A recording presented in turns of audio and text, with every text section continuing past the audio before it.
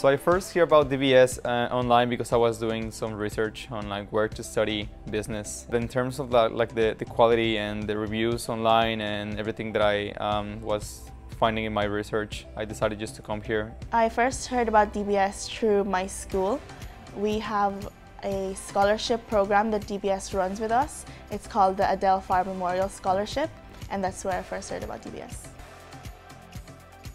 I chose to come to DBS um, because during the open days it felt very welcoming. The student union was there to kind of talk to us about the student life here in DBS and what DBS can offer. DBS has a lot of ground for you to study and for you to research with a good library that you could get a lot of information. So I looked at a few other colleges and I said, I think I would want a business school where it would fit into my career path.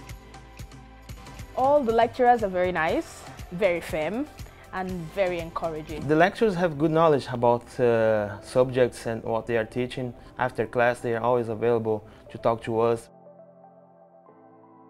I joined the soccer team this year.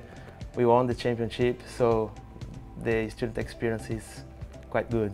In terms of societies, it's it's amazing because I've joined the Law Society and the, also the Basketball Club and I've met lot, lots of new friends there.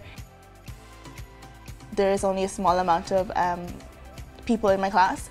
The fact that I get to communicate with each individual in my class is quite good. The great thing about DBS is that they have a lot of students from a lot of different countries.